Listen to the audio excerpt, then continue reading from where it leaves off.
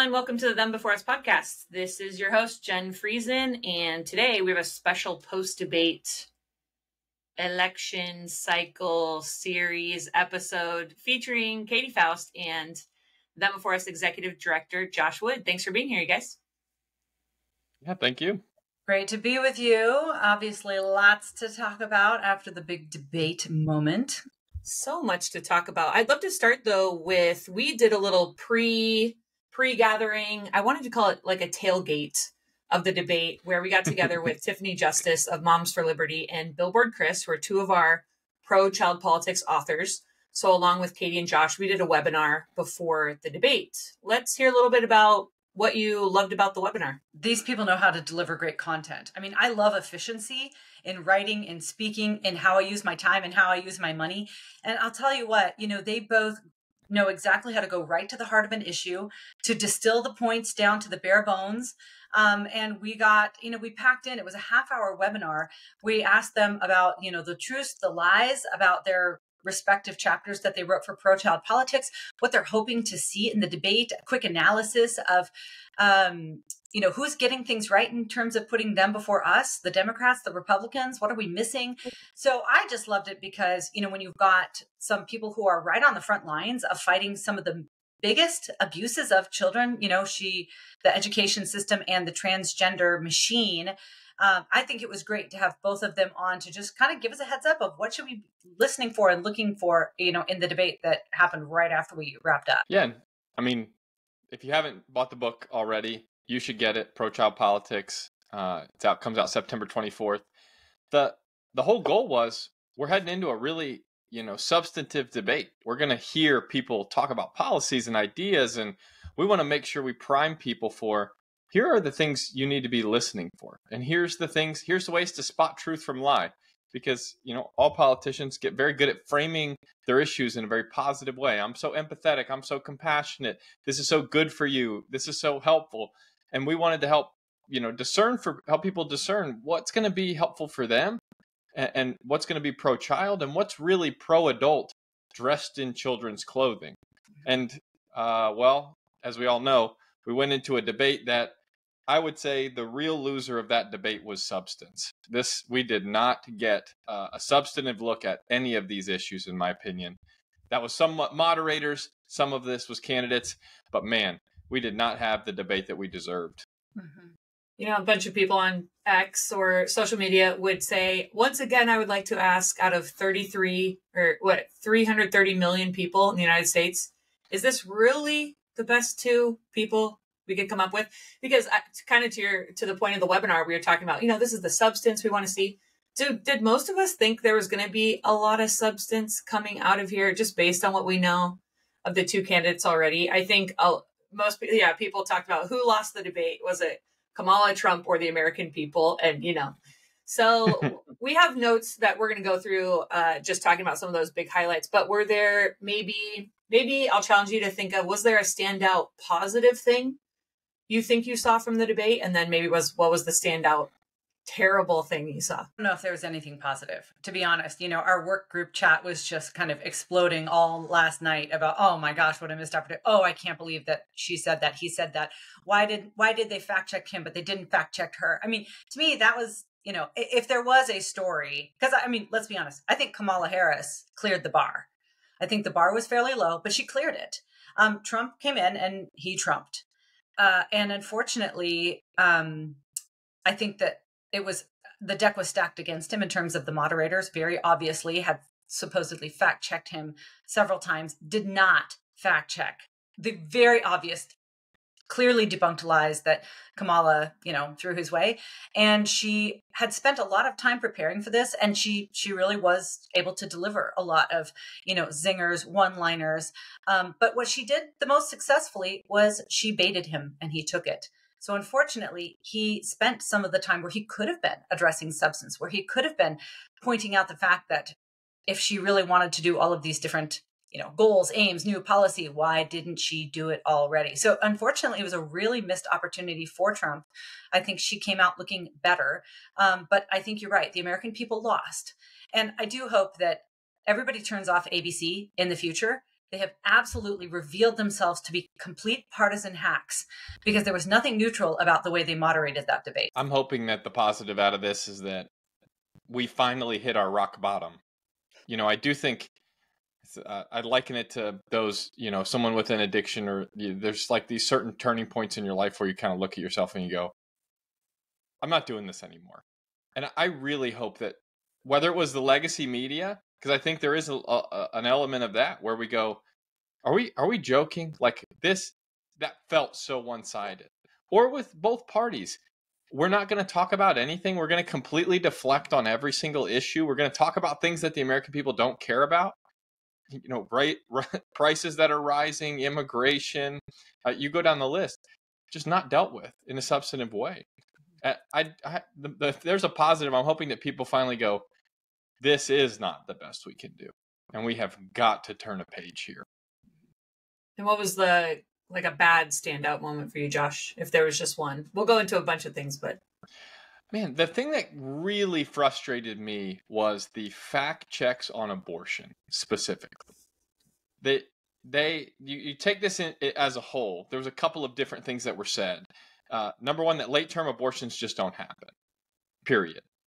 Then that states there's no states with uh, late term abortion even that's legal that people and that people aren't executed after birth. Well, that's just all categorically false. Late term abortions absolutely happen. Students for Life posted something today where a woman called into a, a clinic. You can find this on their Twitters. Called into a clinic, said, I'm 34 weeks pregnant. What do I do? They said, We do this all the time. It's not a big deal. Here's what happens. And they described a process where they inject a solution into the fetal heartbeat. That's what they said, the fetal heart, not a baby. And then they rem- they induce you and they remove the products of conception. That and it was just all this dehumanizing language. And she said are you sure i can do this? And she goes this is way safer than pregnancy. This is way safer than pregnancy. Then she said it happens all the time. We do this all the time. She goes so i'm not rare. Yes happens all the time well you could just do 10 seconds of googling to find nine states have no limits whatsoever. Now again there are also plenty of documented cases from the CDC of babies surviving an abortion, coming out alive, and Governor Walz, who is on her ticket, specifically changed language in Minnesota from in 1976 law that required doctors to intervene to save the life of a child born post abortion. He changed it to not preserve, care. Care. You have to care for the child. Now, that again, we the this is sheep's you know wolf in sheep's clothing. Comfort care for the child has resulted in since then the death of children because no longer and they had someone testify on this who was a, an ambulance driver and he said uh, I delivered a child at 31 weeks and I had to provide uh, everything I could to preserve the life of the child. And if I had done what they're calling care, which is to leave the baby on a table and cover them up and let them expire by themselves, he goes, I would have gone to jail. But we call it care in one context. It's it's it's absurd. And he did this on purpose. Late term abortions do happen. Post birth abortions do happen. I'm not saying they're a majority, and we don't need to be fantastical and say it's it's a majority and it happens all the time. We're just not we just shouldn't lie to people. If you want to accept abortion and you want to be pro abortion, fine. But I can't let you do it with this propaganda. You need to look full in the face at the horror that is being perpetrated, and you need to accept all of it because this is absolutely a part of it. And these late term abortions aren't even happening just uh, just for fetal abnormalities or life of the mother. Mm-hmm. The Guttmacher Institute said they happen consistent with uh, early term abortion, the reasoning behind early term abortions as well. So this is not uh, an exception people get when given the opportunity people will get these for all kinds of reasons that was my my low moment because i felt like that was such an unfair fact check and i was really disappointed that trump did not point out that he was right when he called this an absolutely radical position pushed by the left yeah, yeah. that's i think that that is um that could be the story of the debate that you know we be we each sort of um have our own set of facts. And I would say that, you know, a lot of what Kamala was promoting, um, you know, a lot of the stats that she cites, some of them have been massaged into existence or out of existence. I mean, things like, oh, crime is going down. Well, that's because you guys are changing the way crime is reporting or not reporting crime at all. And it was the same thing with, oh, well, these late term abortions, right? They don't take place or these post birth, you know, exposures of infants. That never happens. Well, Tim Walz, her running mate, actually gutted the Born Alive Protection Act and changed the way reportings are done. So even if they are happening, we don't know about it. So, of course, you can say, well, this never happens because you're not reporting it, because you're not required to report it. So, unfortunately, we are in a situation where um, we do have to be very critical of even official sources in terms of what is coming out of, um, you know, legacy media, especially. Um, and it is time, I think, for alternative media sources to rise up. And for those that do, you know, may we be very careful with the facts. May we be very careful to report things accurately um, because i'll tell you what you know you get to um, you're really going to control the fate of not just the nation but children if we don't have an accurate handle on exactly what kind of atrocities are taking place.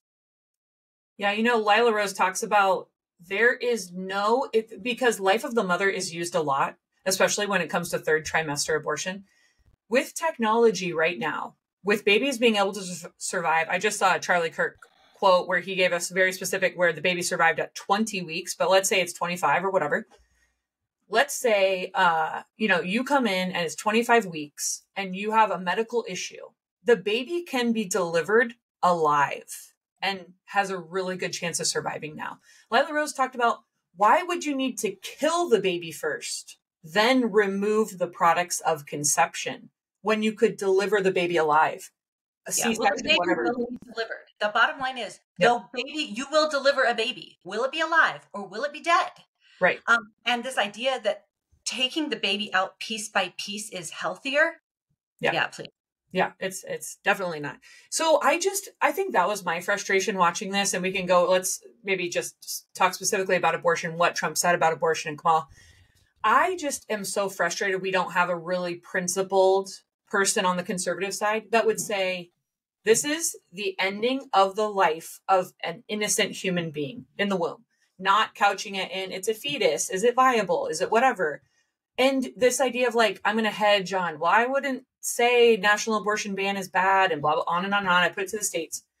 It's great to, in a more libertarian way, to say, you know, it's in the hands of the states. It's in the hands of the voter, the votes of the people. Okay, great. But I want someone to say, I think baby murder's bad.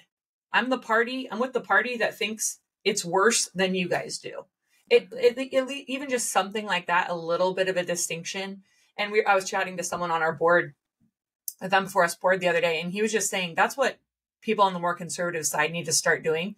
Baby murder bad, killing babies is bad, and just stop using all this special, careful, like you said, massage language around it. So yeah, what were what were your thoughts about how Trump in particular he's representing the more conservative side, quote unquote, talked about uh, abortion in the debate. Parties exist to win elections. Like we have to remember that. Then that's what's frustrating for people that are trying to infuse their principles into politics is that the vehicles we have available primarily exist to win elections, not to advocate for our principles. And that's extremely frustrating because we do uh, I understand exactly why uh, Trump was uh, in the position to say we want to veto a federal abortion ban and why he's taking the position of we need to kick this back to the states. It, but in my opinion, taking it back to the states, this this is a human rights issue. Look, we have to take our principles to their logical conclusion. If we believe it is a life at conception, then that is an American citizen that deserves protection. Period. And I don't care if location shouldn't determine their their the right to life, whether they're in California or Georgia. That that is a child. It deserves protection, and it is the concern of every human being that lives in the United States to protect that child. It's it's reminiscent of me of sending. We're going to say we're going to send the slavery issue back to the states. I mean, that was a states' rights issue, and no one took that argument because we said no, you don't get to own somebody. Period. We fought a war over it. And I, I don't see how this issue on abortion should be delegated to a state level decision. And it, it does break my heart that we are having these votes at the state level, and we're seeing in some places uh, these restrictions uh, we're becoming more pro-abortion in our states. That's that says a lot about I think the soul of America, and that that that for me is is just disheartening.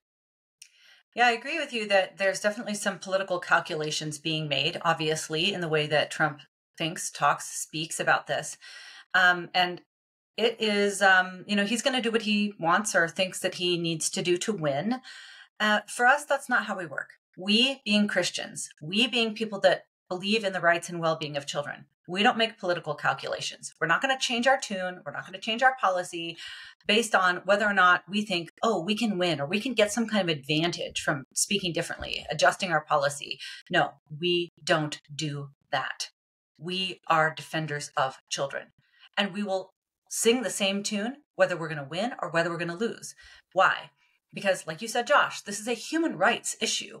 Like children's rights, their right to life, their right to their mother and father, they are human rights issues. And I understand that there are some people, even on the right, who think, well, you know, we're on, you know, we're so far along down the road of history, like we can let go of these sort of antiquated ideas about, you know, things like marriage and family or whatever. I learned something, you know, um, I think it was Chuck Colson that talked about how there's sort of a hierarchy of political issues. You know, obviously, all of the different things that we write about in pro child politics from entitlements and um, taxes and national security and immigration and education and the environment and ESG and DEI and pornography and all of that. I mean, those are all really important issues that have a direct effect on the rights and well being of children. But there's three issues that actually are the fount from which we are going to flow in terms of our decision making on all of these other political questions that are downstream. Those three issues are religious liberty, right? Conscience rights, the ability to think and speak and worship as we, you know, feel compelled to by the dictates of our conscience or our faith. Number two is life, what is life? When does it begin? Who gets to make it? Who gets to take it? Who gets to determine who lives or dies? What the definition of life is when it begins, right? And number three, family, marriage. Those three things are at the top of the hierarchy of political, they're not even political issues, right? They are fundamental human realities. And if you start to tinker with, play around with, or compromise on any of those three, inevitably you will get everything else wrong. Mm-hmm. So I understand that there are some candidates, you know, who are going to make some political calculations. Not so with you and not so with me. We do not get to adulterate, adjust, or accommodate to some newfangled form of, you know, political situation or convenience or, you know, some concept of modernity. No. These are fundamental human realities. And if we get religious liberty, life and marriage wrong, inevitably we will start to get everything else wrong as well. I think to your point, that's why we're seeing IVF be such a, you know, weapon that's being used in this election because of what happened in Alabama and the court case there. And they're, it's like, oh no, they're getting too close to acknowledging that embryos, human embryos that are frozen, are human beings. And, but to your point, this is not a winning issue for Republicans them hammering us with it and Republicans trying to separate, distance themselves and well, it's not really like abortion. And we've talked about, you know, Ted Cruz being asked, wait, I thought you believed life began at conception. And then he has to kind of, uh, uh, uh, you know, hem and haw because he doesn't have, he didn't have a consistent answer ready to go from conception. What do we believe is true? And then how would it apply to IVF, to babies in the womb, etc. But this is going to be a big problem because I think I keep coming back to we have not won the cultural debate on abortion, on IVF, on human rights issues uh, for human embryos and babies in the womb. So, you know, we're talking about the law, but the law feels quite downstream or at least parallel, and culture is not there. So it seems like we're we're going to keep hammering butting heads on these topics, but you know, as Them Before Us, we're butting heads against so many of the folks on the conservative side. Well, I think until we we often use nuance as a way to escape responsibility. And you're right in pointing out that the legal is often an easy way to legislate our morality when the truth is, guys, as believers here, the church has a big job to do that and it is out to lunch right now. I believe that we have to teach and instruct our people And it is it is complicated. I'm not saying it's not complicated. But it's it's also simple at the same time that these eh, we have to follow the truth that life begins at conception and that will solve so many of these issues and that parents have to protect their children and what, what's frustrating for me is that if we fail to do this we fail to disciple our people well in what the gospel teaches and, and how it informs the creation of family um, all of these issues we will continue to see what we're seeing which is when given the opportunity people will make these choices they will vote in more pro-abortion policies. They will vote in, uh, you know, giving complete immunity to the baby creation industry. Like this is this, and we if if that is true and people want that, we are in trouble. And that is there is some self reflection to do. Are we doing a good enough job exposing people? Because call me naive, but I still believe that if presented with the truth, people will be convicted they if we can do it and again that we got we got a lot of forces against us but i just want to believe that if we can properly present these issues to the american people to families making these very difficult decisions that they'll see the humanity in uh, the embryos the fetuses the, the babies and they'll make different choices you know that certainly should be the case with christian families and christian adults uh, because we are the ones that come from the worldview that mandates child protection, that understands the dignity of every human being, that has historically been known for child protection. And I'm just going to do a quick plug for our church curriculum here we actually have served this up for you in a super digestible, low barrier format um, where you can go to our website right now, go to resources for churches, download our curriculum, and just walk it through with some of your friends or introduce it to a small group in your church or show it to, to your pastor. I dare you. Just watch one or two of the videos, and suddenly you're going to go, oh my gosh. This is exactly what our people need to know and understand because we go through everything from the perspective of child protection. We get to IVF and surrogacy and um, reproductive technologies, I think in video five, but we start out with fundamental child rights to, the, to life, to their mother and father, and why child protection has always been a hallmark of true Christianity. And you're right, Josh. Like, if the church itself is confused about this, how do we expect there to be clarity in the culture? First, we need to get this right. There really should be no confusion about this in the Christian community. Um, all of the principles are there, both biblically and in terms of natural law, for us to understand that these are matters primarily about child protection. And we all need to start understanding it, um, speaking about it that way, and really making political decisions along that vein as well. Yeah, I I absolutely agree. You know, we talked about the webinar with Tiffany and Chris, so they care about education and the transgender ideology, which are two things I'm pretty sure did not come up at all in the debate last night. So, why do you think the transgender ideology did not even Trump didn't I don't know if he would have had an opportunity to inject that in or if he was told to do that and just missed the boat. But there was no questions asked about transgender ideology. Why do you guys think that is? It only came up once, and it was because the Kamala Harris campaign had recently put out a statement or um, made a policy clear that they would provide state funded gender reassignment surgery to illegal immigrants. I mean, it's it is so wildly I mean, immigration, the American people are not with her. Gender ideology, the American people are not with her. State funded sex, quote unquote, reassignment surgery, they are not with her. The CNN, I mean, the CNN lady was surprised. She was like, wait, what? She actually said that?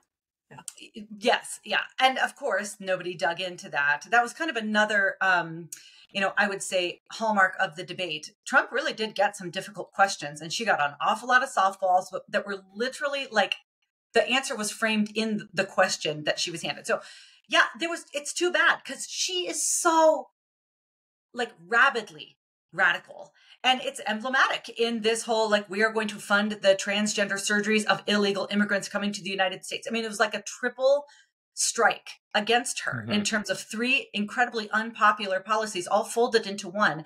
Um, and unfortunately trump did not take the opportunity to really drive that home.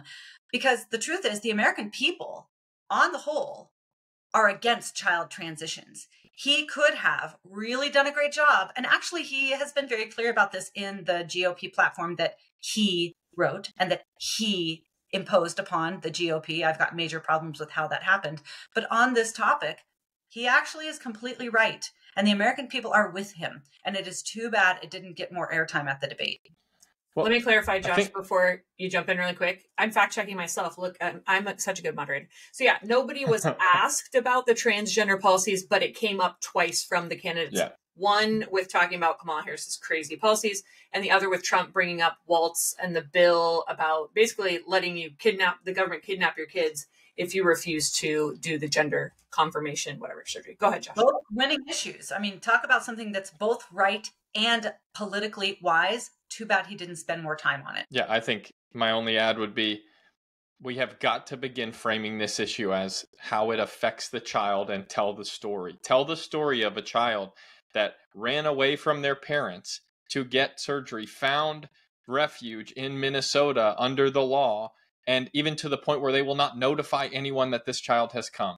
These, this is not unique to Minnesota. There are other states with this law. And ask these parents to put yourself in these shoes that your child, influenced by a public school teacher or a or a friend or or culture, is is is taken down this path, aided by malevolent adults who've known your kid for two weeks and they run away. They receive life altering care. Whether or not you agree with it, you must agree that it is life altering, scare quotes, care.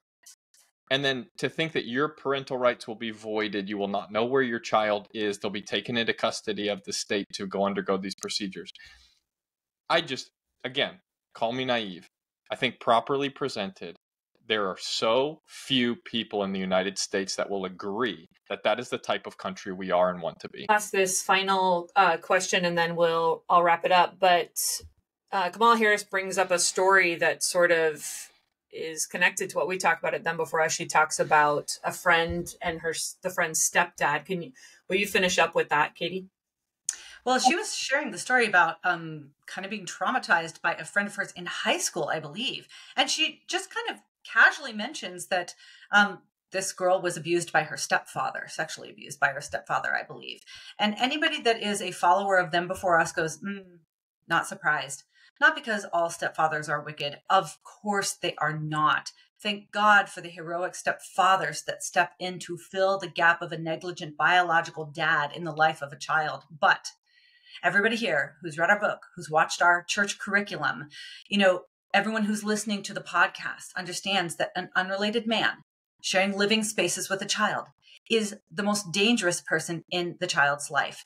And that when you look at rates of abuse and neglect, whether it is emotional, mental, physical, sexual, those rates skyrocket when he joins the household. So, you know, what she mentioned in passing, I think all of the them before us followers go, mm, yep, not surprised.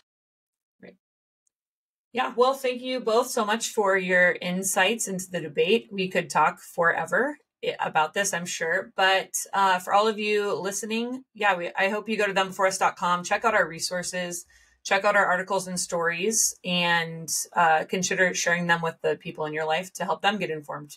Like to Josh's point, so then we can make better decisions politically and, uh, yeah, hold people to account. Let me also say, um, we could really use your financial support you know, we have had massive opportunities this year. I mean, from the book um, to, you know, the documentary that's in process with Focus on the Family to the launch of our church curriculum, which people, nobody else is, nobody else is doing this. Nobody else is doing this for the culture at large or churches in particular. And these are the issues that people need to understand. Why? So they can properly understand what is being said and what's not being said at things like a presidential debate. Um, you know, the, the webinar that we put together with with Tiffany Justice and Billboard Chris. I mean, these guys are absolute leaders in the field, their respective field. I mean, they it's very hard to find bigger voices on the two topics that they authored, you know, within our book. We are doing things that no other organization is doing. And we need your financial partnership. Right now, we are limited sorry, sorry. I'm just, this is turning into a pitch, but right now the only thing that limits us is resources.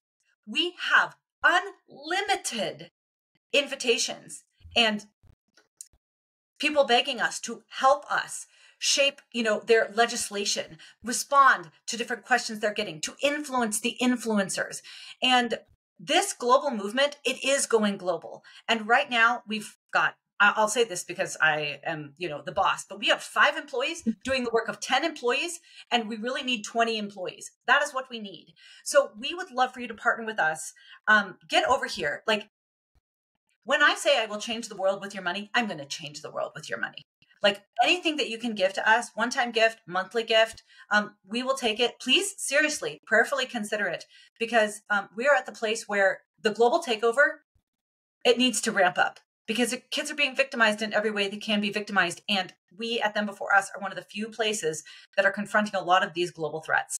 Thanks for sharing. We love it. Thank you, everyone, for listening. Thanks for joining the movement.